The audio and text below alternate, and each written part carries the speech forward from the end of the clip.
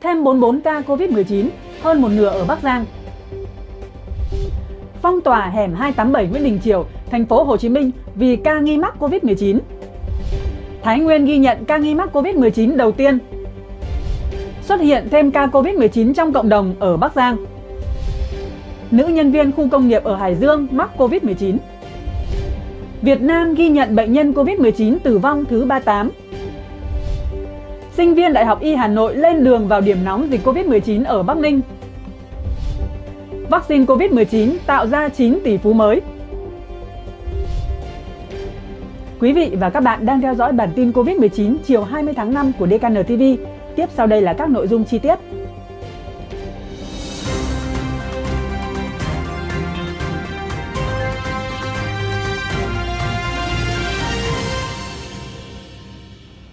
Bộ Y tế trưa 20 tháng 5 ghi nhận 44 ca dương tính nCoV trong nước, chủ yếu ở Bắc Giang, Bắc Ninh và Điện Biên.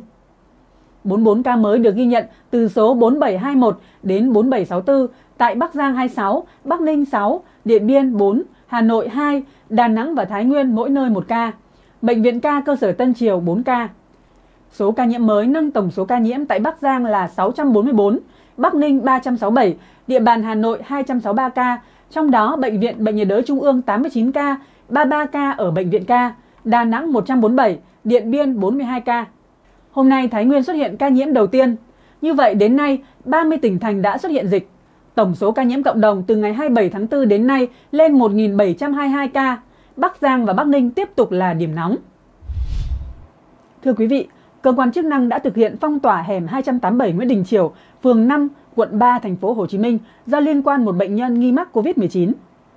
Khoảng 6 giờ 30 ngày 20 tháng 5, ngành chức năng đã đến hẻm 287 Nguyễn Đình Chiểu, phường 5, quận 3, yêu cầu người dân ngưng họp chợ và triển khai phong tỏa. 7 giờ 30, hai đầu hẻm được lực lượng chức năng phong tỏa, triển khai rào chắn, ngăn không cho bất cứ ai ra vào. Đến khoảng 8 giờ cùng ngày, nhân viên y tế tổ chức lấy mẫu cho các trường hợp kinh doanh bên trong chợ ve chai. Một người dân cho hay, sáng chợ đang buôn bán thì phường đến yêu cầu dọn dẹp rồi phong tỏa luôn. Bà bán bún đó nghe nói là cả mấy ngày nay rồi mới đi bệnh viện khám. Người này nói thêm. Hẻm 287 Nguyễn Đình Chiểu nối với hẻm 270 Võ Văn Tần dài khoảng 500 mét.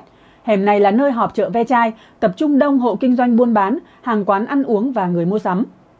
Hẻm 287 Nguyễn Đình Chiểu có 70 hộ dân. Ông Trần Khánh Linh, Chủ tịch phường 5 quận 3 cho biết. Trong sáng nay, khi nắm được thông tin, Ban chỉ đạo thực hiện cách ly và khoanh vùng. Nhân viên y tế và trung tâm y tế hỗ trợ lấy mẫu. Phường cũng chuẩn bị các phương án hỗ trợ trong thời gian cách ly. Sáng 20 tháng 5, Trung tâm Kiểm soát bệnh tật thành phố Hồ Chí Minh HCDC cho biết, nơi đây đã tiếp nhận thông tin từ bệnh viện Phạm Ngọc Thạch liên quan một trường hợp nữ 58 tuổi bán quán ăn tại nhà ở quận 3 thành phố Hồ Chí Minh có kết quả sàng lọc nghi ngờ nhiễm COVID-19. Theo HCDC, ngày 19 tháng 5, trường hợp nghi nhiễm có triệu chứng bệnh đường hô hấp nên đến khám tại Trung tâm Y khoa Medic Hòa Hảo, đường Hòa Hảo, quận 10, thành phố Hồ Chí Minh. Kết quả xét nghiệm X-quang phổi và CT scan phổi ghi nhận có tổn thương. Sau đó, trường hợp nghi nhiễm được hướng dẫn đến khám tại Bệnh viện Phạm Ngọc Thạch vào chiều cùng ngày. Tại đây, trường hợp nghi nhiễm thực hiện khai báo y tế và được đưa vào phòng khám sàng lọc lấy mẫu xét nghiệm. Do kết quả nghi nhiễm COVID-19 nên được chuyển vào khu cách ly. Mẫu bệnh phẩm của trường hợp nghi nhiễm và người con đi cùng đã được chuyển sang bệnh viện Bệnh nhiệt đới thành phố Hồ Chí Minh để xét nghiệm khẳng định. HCDC cho biết thêm, sau khi tiếp nhận thông tin, thành phố Hồ Chí Minh tiến hành điều tra, truy vết các trường hợp tiếp xúc và khoanh vùng phong tỏa tạm thời các địa điểm liên quan đến trường hợp nghi nhiễm. Thái Nguyên ghi nhận ca nghi mắc COVID-19 đầu tiên. Người này có tiền sử dịch tễ liên quan ổ dịch công ty Hosiden Việt Nam ở khu công nghiệp Quang Châu, huyện Việt Yên, Bắc Giang. Bệnh nhân là nam giới, sinh năm 1994, trú tại xóm Phẩm 2, xã Dương Thành, huyện Phú Bình. Nam thanh niên làm việc tại công ty Hosiden Việt Nam. Sau khi từ Bắc Giang về Thái Nguyên, người này đã thực hiện khai báo y tế và lấy mẫu xét nghiệm vào ngày 18 tháng 5. Đến 20 giờ ngày 19 tháng 5, bệnh nhân nhận kết quả nghi nhiễm COVID-19. Được biết, ngay sau khi có kết quả xét nghiệm, CDC Thái Nguyên đã phối hợp với các cơ quan chức năng khai thác thông tin di chuyển và đưa bệnh nhân đi cách ly y tế, đồng thời nhanh chóng truy vết những người có liên quan trường hợp này. Hiện các trường hợp tiếp xúc gần đã được khoanh vùng cách ly và lấy mẫu xét nghiệm. Huyện Phú Bình tiếp tục cùng các cơ quan chức năng thực hiện điều tra, truy vết và khoanh vùng theo quy định. Thưa quý vị, Bắc Giang bắt đầu phát hiện thêm một số trường hợp F0 giải rác ở khu công nghiệp Đình Chám, khu công nghiệp Song Khê, Nội Hoàng và trong cộng đồng. Theo Ban chỉ đạo phòng chống COVID-19 tỉnh Bắc Giang, đến sáng 20 tháng 5, toàn tỉnh đã có 618 ca mắc COVID-19, trong đó số ca nhiễm tại khu công nghiệp Quang Châu tăng cao, nhất là công ty Hosiden Việt Nam.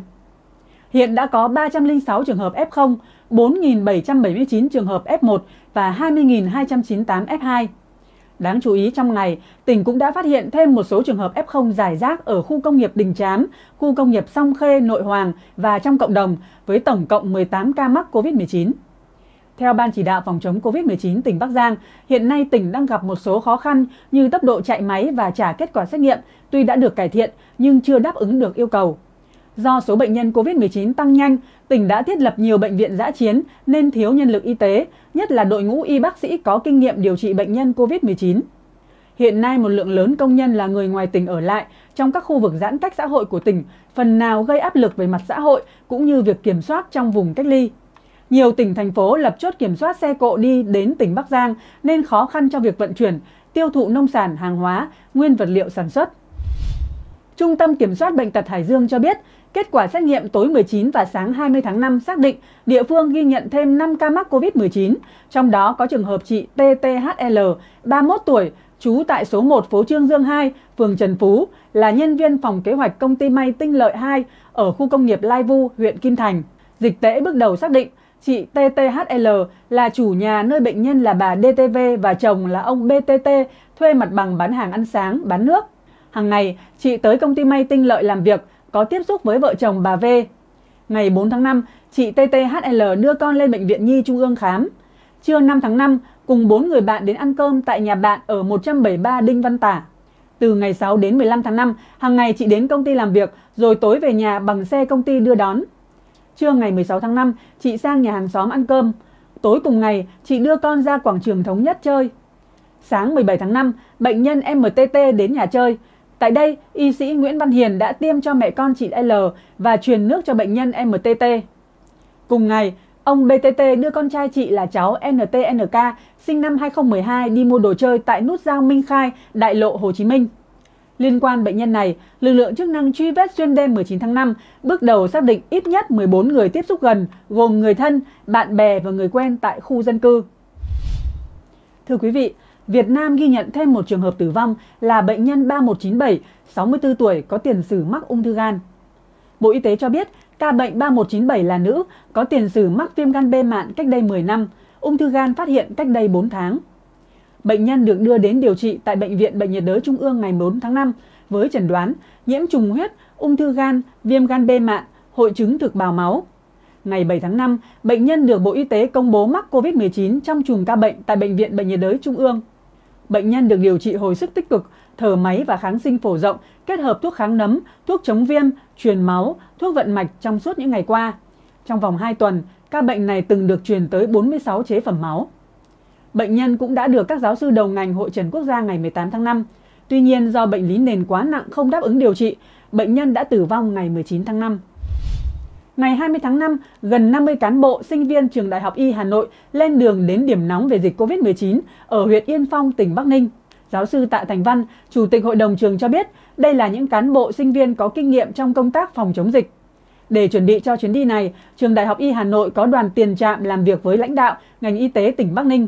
Cũng trong ngày 20 tháng 5, Trường Đại học Y Hà Nội cử hai bác sĩ lâm sàng đến vùng dịch Yên Phong cùng với đoàn của trường Y Hà Nội đào tạo trực tuyến cho đội ngũ y tế của địa phương.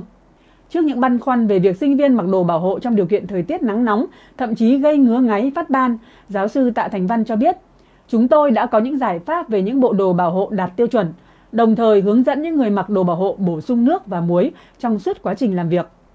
Dặn dò sinh viên trước giờ lên đường, giáo sư Văn nhấn mạnh với sinh viên Đại học Y Hà Nội là nêu gương về mặt chuyên môn. Ông cho biết, đây là dịp rất tốt để các em học hỏi, học tình huống trong cộng đồng, kiến thức thực tế và quan hệ xã hội. Thưa quý vị, lợi nhuận từ vaccine COVID-19 đã giúp ít nhất 9 người trở thành tỷ phú, khiến các nhà vận động tăng cường kêu gọi ngừng độc quyền với công nghệ vaccine.